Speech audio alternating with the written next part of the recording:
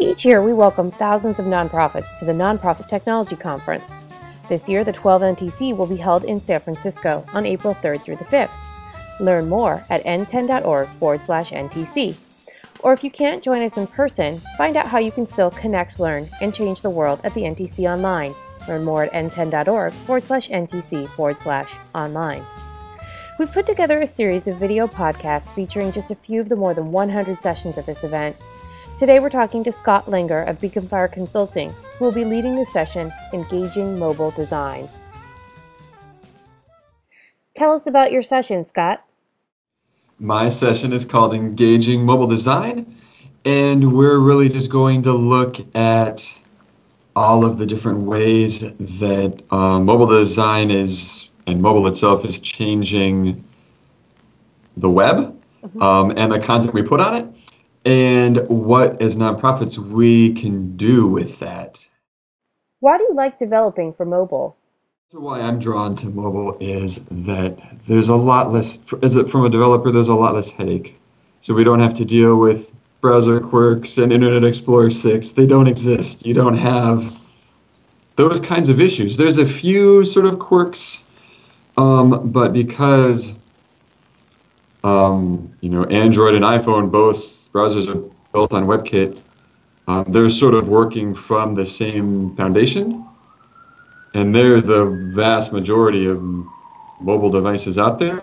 So it's it's like great unicorns and rainbows, and you just sort of it's this beautiful place to develop because everything just sort of works the way you want it to work, and CSS3 works for the most part, and you know, it's just great. And you can just write your code and you don't have to Google all these problems when you're done. And what are the advantages to developing a site for mobile? So we've got a few sites that use Convio's TeamRaiser thing, which is so there's different events in different geographic locations. And on a desktop, generally we just offer sort of a drop down and you have to go either click through a map or use a drop down and find your events. And with mobile, you can actually grab where they are a little bit easier and just show them events nearby. So it's a little more engaging to say, here's three events within 20 miles, pick one, rather than you know go through all these steps. Do you need a mobile and a desktop version of your site? Sort of the same thing back when you had, you know, the Netscape and the Internet Explorer versions and you'd fork it.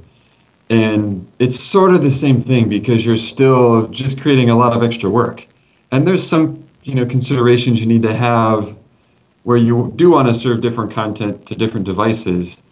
Um, but the whole binary approach is a little um, just a little much sort of over the top. Give us an example of the exciting future of mobile.